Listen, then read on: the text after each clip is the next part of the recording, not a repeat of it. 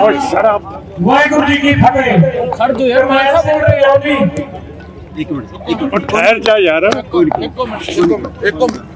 ਲਾਲਾ ਨੂੰ ਤੁਮ ਯਾਰ यार की फायदा है भी बोली जान दा मैं बोल रहे हैं मैंने बोलता रहने दो पाल सरेंडर करेंगे सर आपको लग रहा है और सिख नहीं सरेंडर करते होते जी किस संत जरनैल सिंह ने सरेंडर किया था उसकी छाती के ऊपर अठहत्तर गोली लगी थी जी किस सिख ने क्या आप हिंदू हिंदुत्व का राज हमारे ऊपर डाल रहे हो ਮਾਨ ਸਾਹਿਬ ਜਦੋਂ ਨੇ ਅਮਰਿਤਪਾਲ ਪੁਲਿਸ ਦੀ ਗ੍ਰਿਫਤ ਤੋਂ ਬਾਹਰ ਚੱਲ ਰਹੇ ਨੇ 18 ਤਰੀਕ ਦਾ ਮੈਂ ਜ਼ਿਕਰ ਕਰ ਲਾਂ ਉਸ ਤੋਂ ਬਾਅਦ ਕੋਈ ਤੁਹਾਡੇ ਨਾਲ ਗੱਲਬਾਤ ਹੋ ਪਾਈ ਉਹਨਾਂ ਦੀ मैं क्यों दसा हुई है कि नहीं हुई ਸਾਡਾ ਤਾਂ ਪੁੱਛਣਾ ਜੀ ਦੱਸਣਾ ਸੰਗਤ ਜੀ ਬਹਿ ਜਾਓ ਬਹਿ ਜਾਓ ਕੋਈ ਜੇ ਉਹ ਰੂਪੋਸ਼ ਨੇ ਤੇ ਫਿਰ ਉਹ ਰੂਪੋਸ਼ ਹੈਗੇ ਆ ਮੈਥੋਂ ਕੀ ਕਹਾਉਣਾ ਚਾਹੁੰਦੇ ਹੋ? ਜਥੇਦਾਰ ਸਾਹਿਬ ਕਹਿ ਰਹੇ ਆ ਕਹਿੰਦੇ ਸਰੈਂਡਰ ਕਰ ਦਿਓ ਤੁਸੀਂ ਕਹਿ ਰਹੇ ਸਿੱਖ ਕਦੇ ਸਰੈਂਡਰ ਨਹੀਂ ਕਰਦੇ। ਦੋ ਅਲੱਗ-ਅਲੱਗ ਧਰਾਵਾਂ ਹੋ ਗਈਆਂ।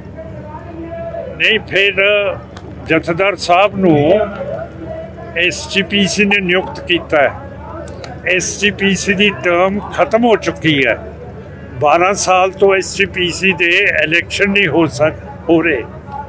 ਹੁਣ ਫਰਜ਼ ਕਰੋ ਅਗਲੇ ਸਾਲ ਮੋਦੀ ਸਾਹਿਬ ਪੁਲਿਸ ਵਾਲੇ ਭਰਾਵਾਂ ਨੂੰ ਬੇਨਤੀ ਕਰਦਾ। ਔਰ ਸ਼ਰਾਬ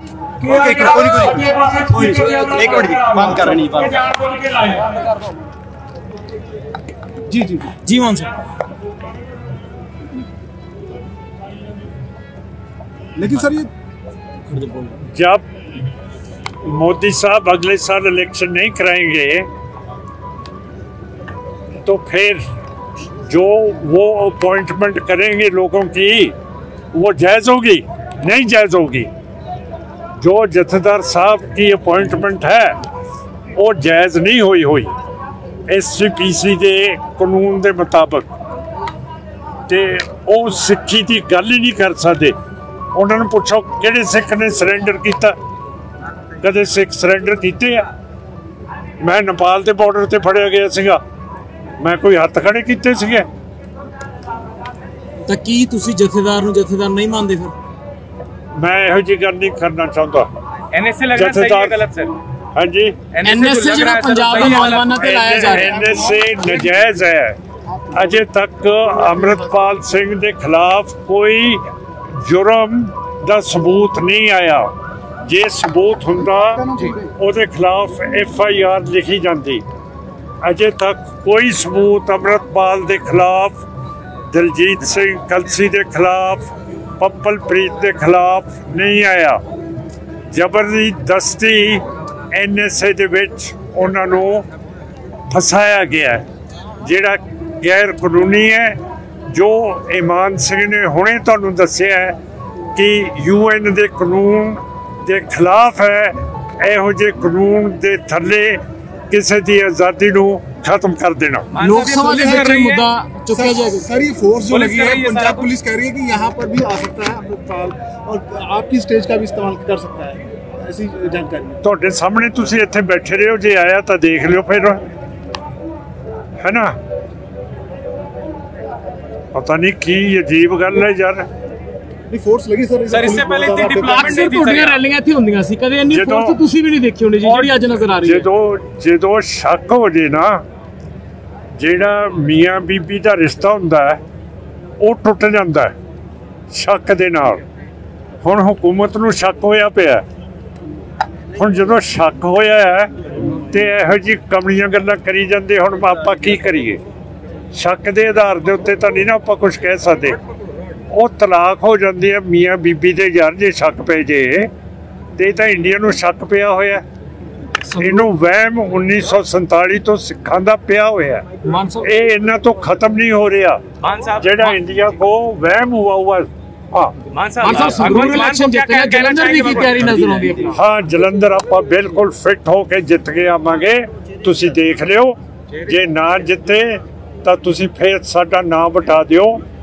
ਜਲੰਧਰ ਦਾ ਇਲੈਕਸ਼ਨ ਅਸੀਂ ਜਿੱਤਣਾ ਹੈ। ਕੋਈ ਉੱਥੇ ਪਾਰਟੀ ਸਾਡੇ ਮੈਦਾਨ ਦੇ ਮੁਕਾਬਲੇ ਦੇ ਵਿੱਚ ਨਹੀਂ ਹੈਗੀ मान साहब मुख्यमंत्री साहब को क्या कहेंगे इस कार्रवाई को लेकर जो कर रहे हैं अभी अमृतपाल को सामने लेकर के सामने। पप्पलप्रीत को लेकर तमाम तमाम लोगों को लेकर इनका असर बहुत बुरा होगा मान साहब के ऊपर कैंडिडेट हमारे गुरजंट सिंह जी कट्टू हैं वो ਕਾਂਸ਼ੀ ਰਾਮ ਜੀ ਕੇ ਸਾਥ ਉਹਨਾਂ ਨੇ ਕੰਮ ਕੀਤਾ ਜਦੋਂ ਕਾਂਸ਼ੀ ਰਾਮ ਜੀ ਨੂੰ ਮਾਇਆਵਤੀ ਜੀ ਨੇ ਕੈਦ ਕਰ ਲਿਆ ਸੀਗਾ ਫਿਰ ਉਹ ਸਾਡੀ ਪਾਰਟੀ ਦੇ ਵਿੱਚ ਆ ਗਏ ਸੀਗੇ। ਔਰ ਦੂਸਰੀ ਗੱਲ ਹੈ ਤੁਹਾਨੂੰ ਸ਼ੱਕ ਪੈ ਰਿਹਾ ਹੈ ਕਿ ਵਾਹਿਗੁਰੂ ਜੀ ਕਾ ਖਾਲਸਾ। ਔਰ ਸ਼ਰਮ ਵਾਹਿਗੁਰੂ ਜੀ ਕੀ ਫਤਿਹ। ਖੜ ਜੋ ਯਾਰ ਮੈਂ ਸਭ ਬੋਲ ਰਿਹਾ ਹਾਂ ਜੀ। ਇੱਕ ਮਿੰਟ ਇੱਕ ਮਿੰਟ। ਇੱਕ ਮਿੰਟ ਇੱਕ ਮਿੰਟ। ਇੱਕ ਮਿੰਟ ਲਾਲਾ ਮੁਕਮ ਯਾਰ। ਚਲੋ ਲਾ ਹਾਂਜੀ ਹਾਂਜੀ। ਯਾਰ ਕੀ ਫਾਇਦਾ ਵੀ ਬੋਲੀ ਜਾਣ ਦਾ? ਮੈਂ ਬੋਲ ਰਿਹਾ ਹਾਂ। ਮੈਨੂੰ ਬੋਲ ਤਾਂ ਲੈਣ ਦੋ। ਹਾਂਜੀ ਹਾਂਜੀ ਪ੍ਰਧਾਨ ਸਾਹਿਬ। ਤੁਹਾਨੂੰ ਜਿਹੜਾ ਸ਼ੱਕ ਪੈ ਰਿਹਾ ਨਾ ਕਿ ਸਾਡੀ ਪਾਰਟੀ ਨੇ ਬਹੁਤ ਲੋਕ ਸਿੱਖ ਬਾਹਰ ਭੇਜਦੇ ਹੈ। ਇਹ ਤੁਹਾਡਾ ਸ਼ੱਕ ਬਿਲਕੁਲ ਠੀਕ ਹੈ। ਮੈਂ ਹੁਣ 78 ਸਾਲਾਂ ਦਾ ਅਗਲੇ ਮਹੀਨੇ ਹੋ ਜਾਣਾ। 78 ਸਾਲ ਤੋਂ ਬਾਅਦ ਮੈਂ ਜ਼ਿਆਦਾ ਕੰਮ ਨਹੀਂ ਕਰ ਸਕਣਾ ਜਿਹੜਾ ਮੇਰਾ ਨਿਸ਼ਾਨਾ ਸੀ ਕਿ ਮੈਂ ਖਾਲਿਸਤਾਨ ਬਣਾਉਂਗਾ ਸ਼ਾਇਦ ਮੇਰੀ ਉਮਰ ਦੇ ਵਿੱਚ ਖਾਲਿਸਤਾਨ ਨਾ ਬਣੇ।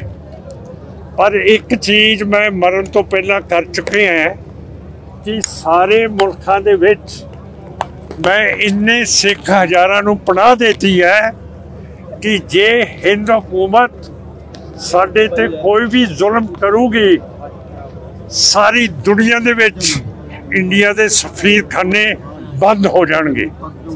ਮੇਰਾ ਇਹੀ ਹੈ ਜੋ ਮੈਂ ਆਪਣੀ 40 ਸਾਲ ਦੀ ਜਦੋਜਹਿਦ ਦੇ ਵਿੱਚ ਸਿੱਖ ਕੌਮ ਨੂੰ ਦੇ ਕੇ ਚੱਲਿਆ। ਵਾਹਿਗੁਰੂ ਜੀ ਕਾ ਖਾਲਸਾ। ਅੰਮ੍ਰਿਤਪਾਲ ਦੇ ਲਈ ਕੀ ਸੁਨੇਹਾ ਜੀ ਜੇਕਰ ਸੁਣ ਰਹੇ ਹੋਵੇ ਤੁਹਾਨੂੰ? ਅੰਮ੍ਰਿਤਪਾਲ ਦੇ ਲਈ ਤੁਹਾਡਾ ਕੀ ਸੁਨੇਹਾ ਰਹੇਗਾ? ਅੰਮ੍ਰਿਤਪਾਲ ਦਾ ਸਰੈਂਡਰ ਥੋੜੀ ਹੋਣਾ ਕਿਸੇ ਨੇ। ਸੁਨੇਹਾ ਕੀ ਰਹੇਗਾ ਜੀ ਤੁਹਾਡਾ ਸਰੈਂਡਰ ਨਹੀਂ ਹੋਣਾ ਹੈ। ਨਹੀਂ ਸਰੈਂਡਰ ਤਾਂ